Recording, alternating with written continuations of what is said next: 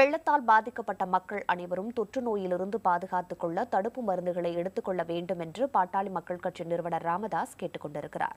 கடலூரில் வெள்ளத்தால் பாதிக்கப்பட்ட மக்களுக்கு பாட்டாளி மக்கள் கட்சி சார்பில் மருத்துவ முகாம் நடத்தப்பட்டது. மஞ்சக்குப்பம் பகுதியில் நடைபெற்ற முகாமில் அந்த கட்சியின் நிறுவனர் ராமதாஸ் கலந்து கொண்டு பொதுமக்களுக்கு மருத்துவ சிகிச்சை அளித்தார்.